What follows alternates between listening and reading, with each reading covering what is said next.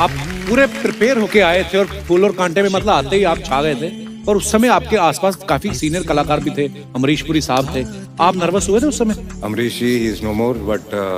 is like a father figure to me और uh, मैं कहूँगा कि he was one of the nicest human beings I have ever known एक अकेले होंगे जिनके मैं uh, रोज सुबह पैर छूता इंडस्ट्री में किसी को तकलीफ़ हो, किसी के घर शादी हो, या किसी के घर पे किसी की डेथ हो जाए, सबसे पहले पहुँचने वाला आदमी वो वाह, क्या बात